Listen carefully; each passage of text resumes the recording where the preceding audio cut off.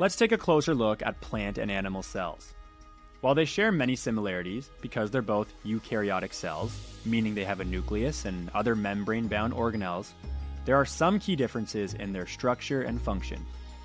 These differences are important because they help each type of cell do what it needs to do in its specific environment. At the heart of both plant and animal cells is the nucleus, which acts as the control center.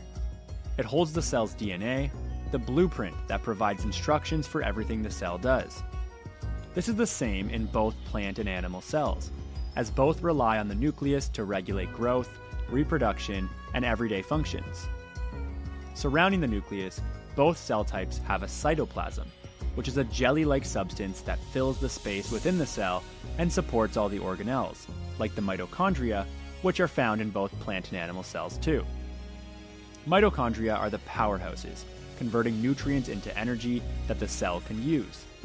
So, whether we're talking about a leaf cell in a plant or a muscle cell in an animal, both need mitochondria to fuel their activities. However, plant cells have some additional structures that animal cells don't. One of the most important is the cell wall, a rigid outer layer that provides support and protection.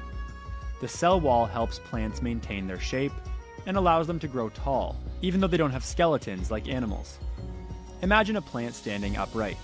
Its ability to do that comes from the strength of its cell walls, which give it structural support, much like the walls of a building.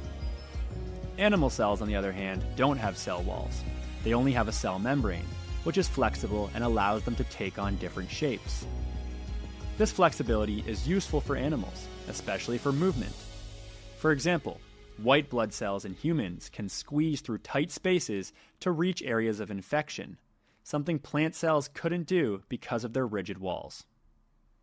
Another important difference is the chloroplasts in plant cells. These are the solar panels of the cell, capturing sunlight and using it to make food through photosynthesis. Chloroplasts contain chlorophyll, which is why plants are green.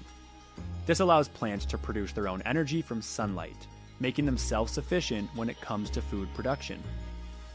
Animal cells, on the other hand, don't have chloroplasts because they get their energy by consuming food rather than producing it.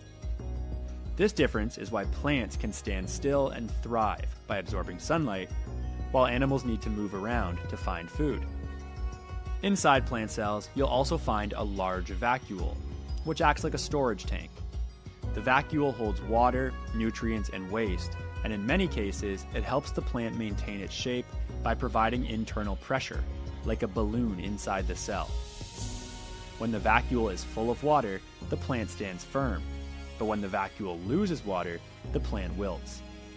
Animal cells have vacuoles too, but they are much smaller and used mainly for temporary storage. They don't need large vacuoles because animals don't rely on internal water pressure to maintain their shape like plants do. While both plant and animal cells share key organelles like the endoplasmic reticulum, Golgi bodies, and ribosomes, it's the differences that define their roles in life. Plant cells, with their rigid cell walls, chloroplasts, and large vacuoles, are built to stand firm and produce their own food. Animal cells, on the other hand, are more flexible and specialized for movement, hunting for food, and responding quickly to their environment.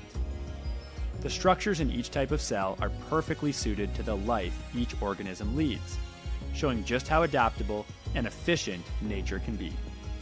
Both plant and animal cells are remarkable in their own ways, and while they share a common design, the unique features of each are what allow plants to grow tall and green, and animals to be flexible, active, and mobile.